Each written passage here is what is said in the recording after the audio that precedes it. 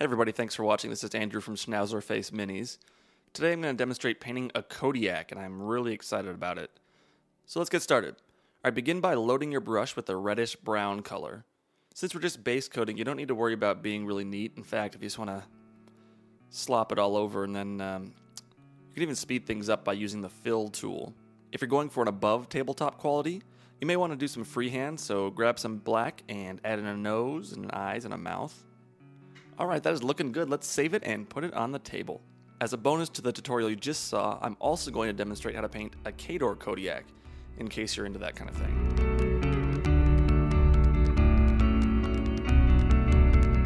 I prime with Vallejo polyurethane black primer.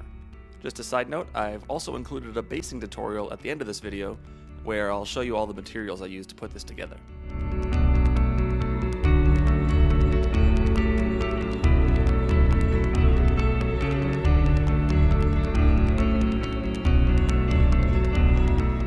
Red shade, I use Vallejo Model Air Hull Red. It's more brown than red, but it provides a really nice deep shadow for red. Since red is such a tricky color to highlight, I find it best to start with a dark base coat and highlight up to red. If you start with a red base coat, it forces you to highlight with pink or really bright orange and yellow, which may not be the look you're going for.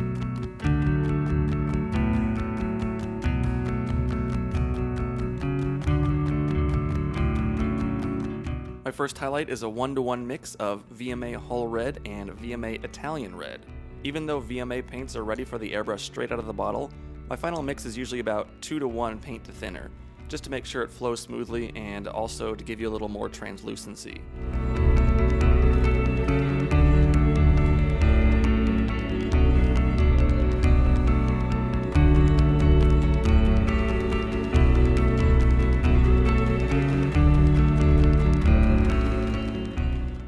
Next highlight is VMA Italian Red, which is actually the same color I'm thinking of candy coating my sweet ride once I buff out that scratch on the driver's side door.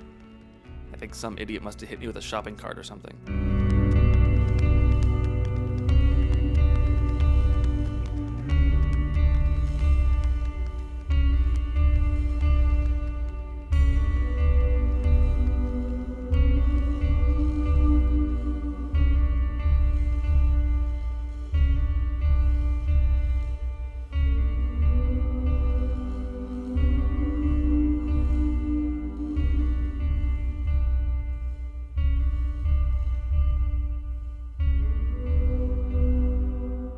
The next highlight is VMA Orange. You may remember from my Karchev video that I used a very different workflow to get Khador reds. I was happy with that process, but I like the way this one turned out too. I feel like it's always a good idea to experiment and try out new things that look good, even if you're just going to use them as a backup. Incidentally, that's actually the exact same thing my wife said to me when she told me Enrique would be moving in with us. Finally, I use Vallejo Game Color Gold Yellow for very, very extreme highlights.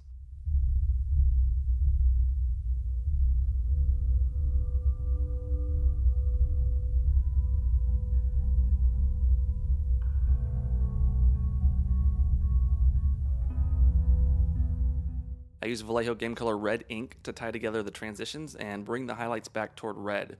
It's about a 7 to 1 water to ink ratio. Ink is translucent, it's meant to tint the underlying colors, not cover them.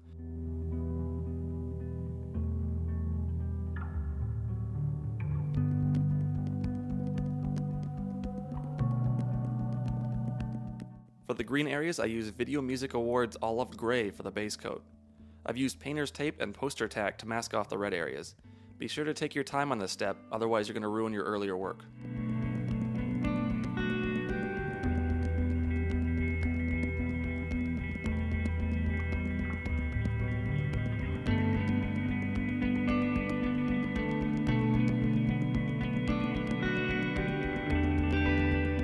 I highlight with a one-to-one mix of olive gray and tank dark yellow.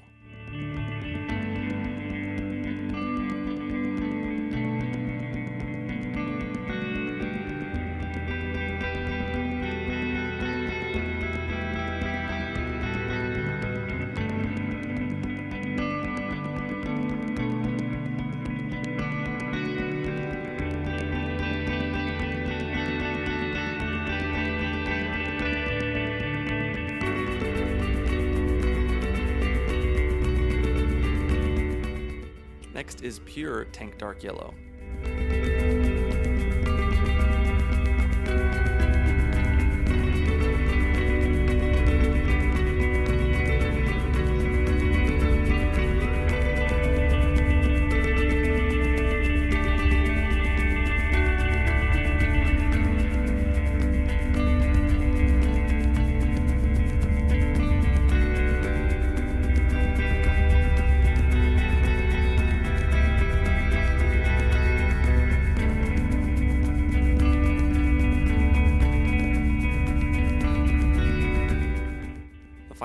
Is US Gray Light.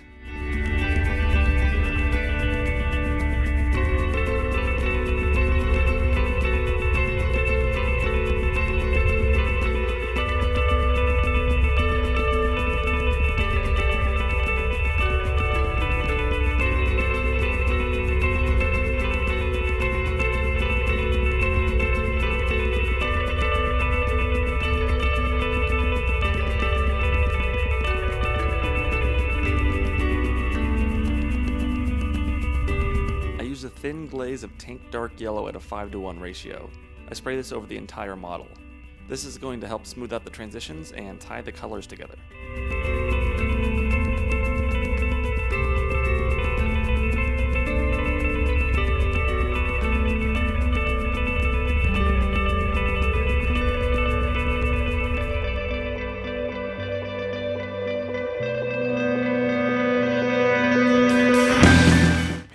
Comes off easily and won't harm the paint, but I found poster tack can be a little tricky to remove.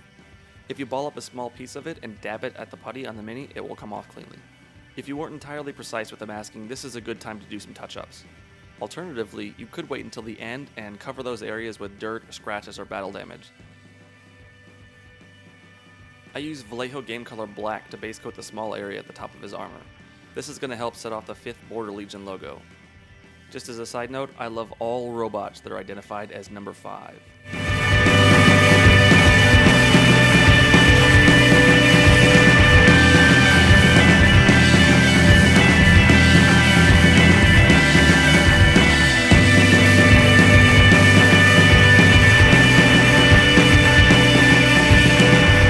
I begin highlighting the black area with P3 Coal Black. I like to highlight black with blue, which looks cool but isn't really accurate. I think that highlighting with gray and white just looks a little boring to me. Next is P3 Troll Blood Base. I haven't bothered to mask off any part of the model as I'm just being careful where I point the airbrush. I don't mind getting overspray on his smokestacks because I haven't painted those areas yet. The final highlight is P3 Underbelly Blue.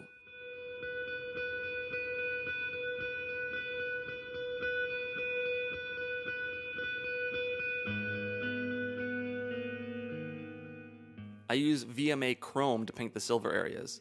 I love the VMA silvers, but I find that chrome, aluminum, steel, and silver are all extremely similar in color. If you're on a budget, just grab one of those four.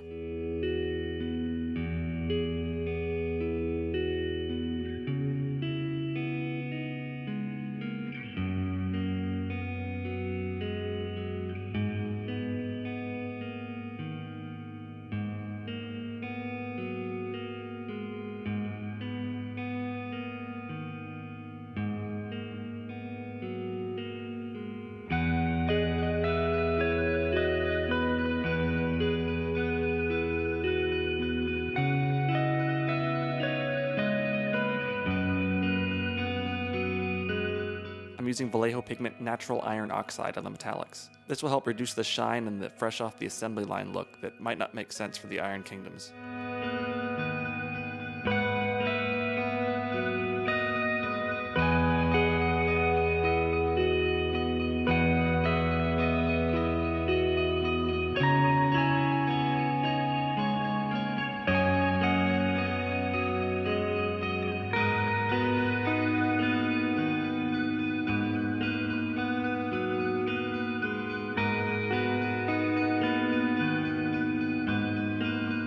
Now I seal the model with Liquitex Gloss Varnish.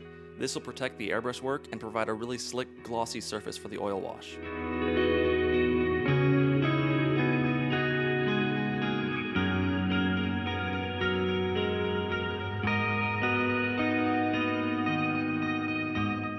I use Winsor & Newton Ivory Black oil paint and mineral spirits to make an oil wash. One important note, use mineral spirits to make your wash. Stronger thinners like turpentine will definitely eat away at the varnish in acrylic paints, and I've learned this the hard way. The good news is that mineral spirits are cheap and easy to find at the hardware store. There's no need to slather the wash all over the place, just apply it where you want it. But don't worry if you get a little sloppy, oil washes are really easy to clean. Once the oil wash is dry, I seal it in place with matte varnish, which I forgot to film. You can help speed the drying process with a blow dryer or air from your airbrush.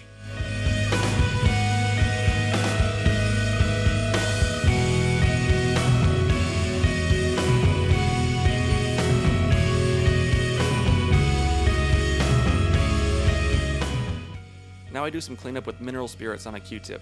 Just dab around the mini where you slop the oil wash and it'll come right up. The cool thing about an oil wash is that it will stay wet significantly, significantly longer than your ink or acrylic washes.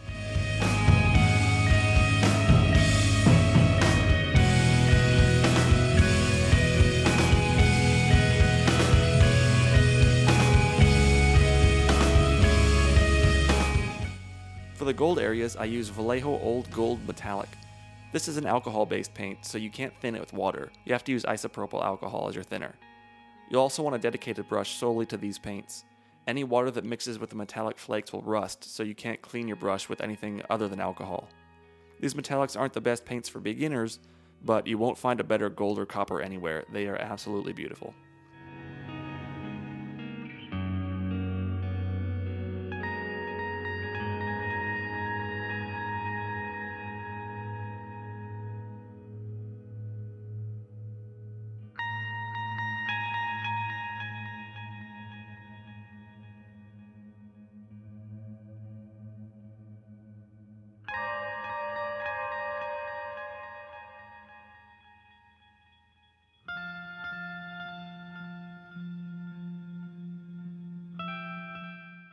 I'm using VMA Gold for edge highlights.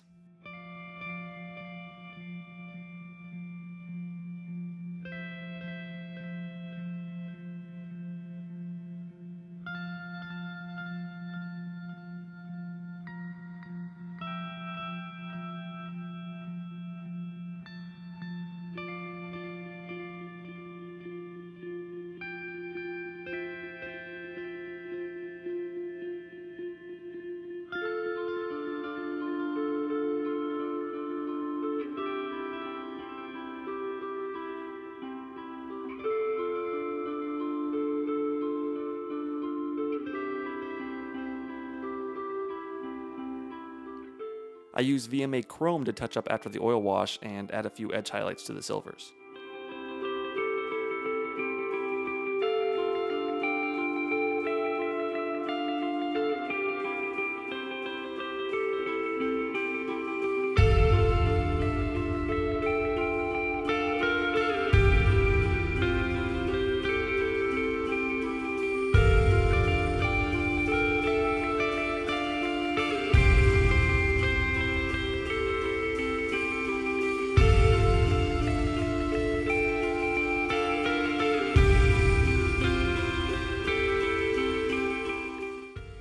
GW Gryphonne Sepia on the gold to give it a really rich, deep color.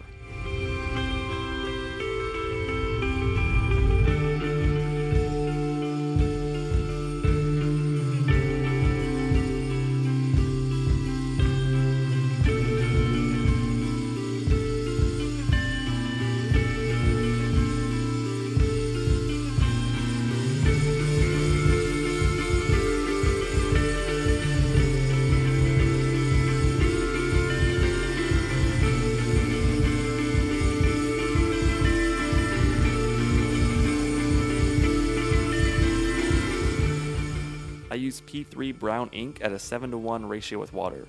I'm slowly, slowly building up shadows on the gold.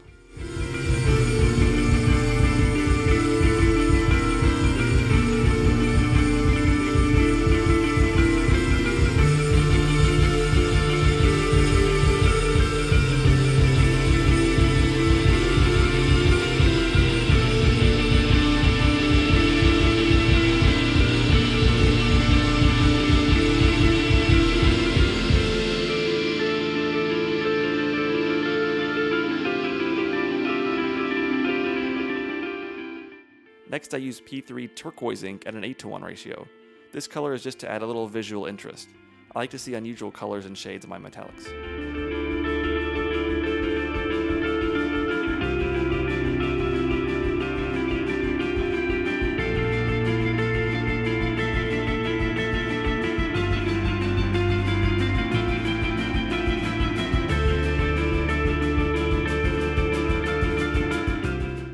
Finally, I use GW Leviathan Purple watered down 4 to 1.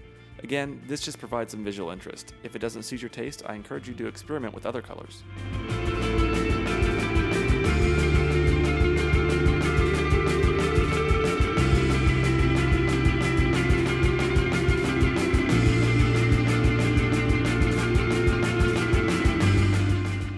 I use VMA Gold to touch up just a final few spots.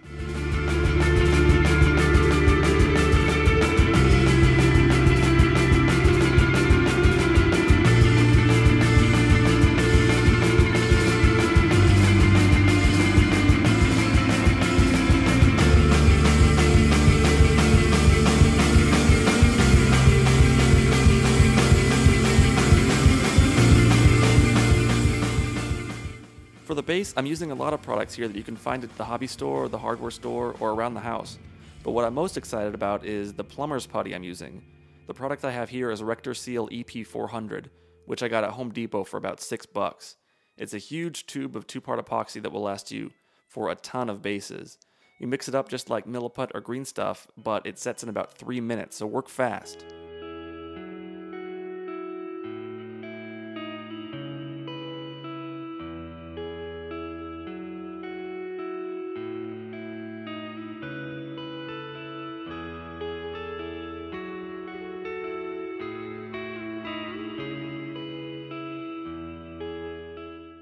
Can see here I'm just throwing various bits in there pretty much at random. I'm also using a piece of tin foil to rub on the putty to give it some texture. You can also use a rock for the same effect.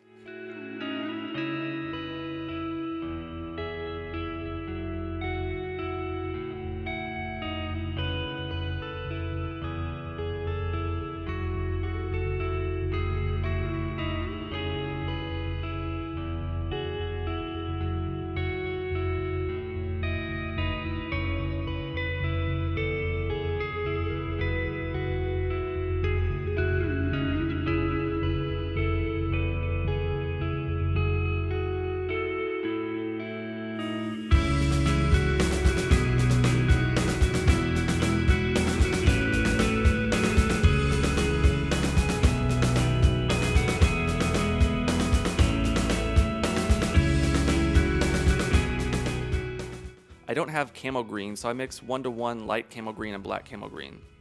On that note, I know that some of the YouTube guys like Les from Awesome Paint Job is sponsored by Vallejo. So if any of the good people at Vallejo want to send me camo green, I think that'd be great. And when I say the good people at Vallejo, I mean like shirt off their back good.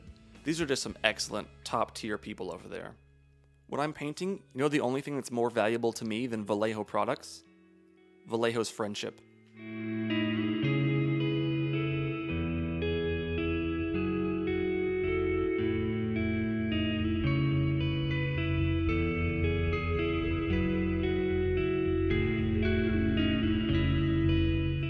Anybody who knows anything knows that VGC washes are the best in the market. I once knew a guy who preferred GW washes, and you know where he is now? He teaches English comp at a community college. So let that be a lesson.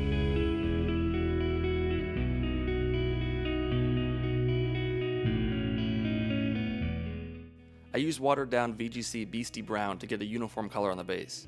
It almost seems wrong to add water to something as wholesome and as, dare I say it, honest as a drop of Vallejo paint.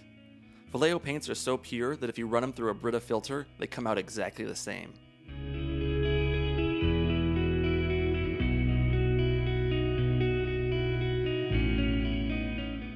Vallejo paints are just a dream to work with.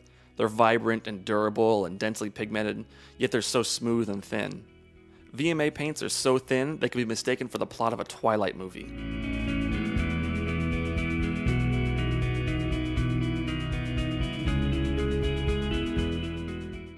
Vallejo paints are just incredible. They're so nice that I once had a bottle of primer that did my taxes, and I used the refund to invest in the Vallejo Corporation. Now my portfolio is looking sweet.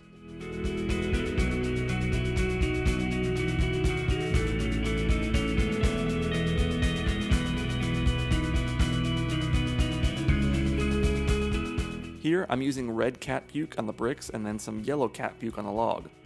Of course, it's not actually cat puke. It's cat bile. That's right, anything not made by Vallejo is made of pure cat bile.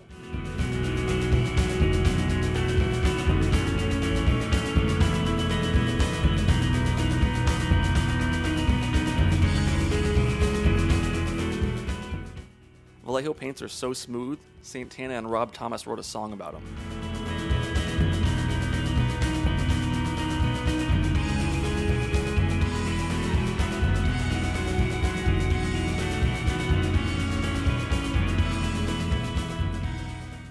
Vallejo paints helped me get off drugs. Citadel paints just got me addicted.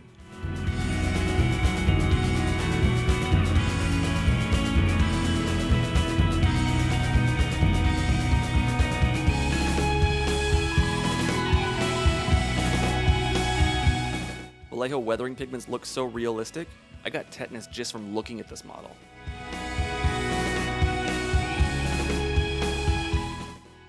I watered down some matte medium and let it pool around the base. It's going to act as a glue for the pigments. I'm about to make this matte medium's day because I'm going to start piling on the Vallejo pigment. This matte medium just got upgraded to matte large.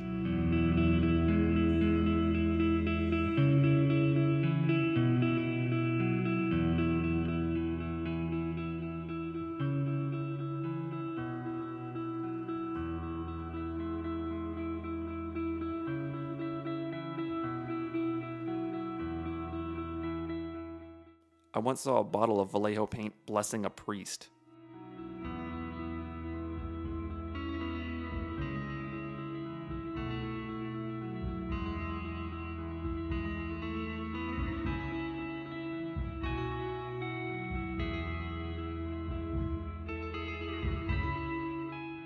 Two bottles of Vallejo paint walk into a bar, and everyone just starts cheering.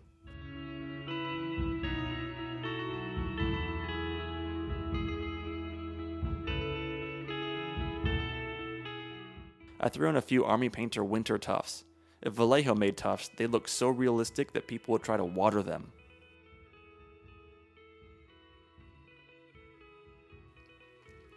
I mixed Woodland Scenic's water effects with Snowflock and we're almost done. I'd like to mention at this time that Vallejo makes a water effects product that I would love to try out. I mean, in the event they had an extra bottle lying around, I would take it off their hands for sure. I just want to end this video by thanking Vallejo for everything they do from the bottom of my heart. Vallejo 2012.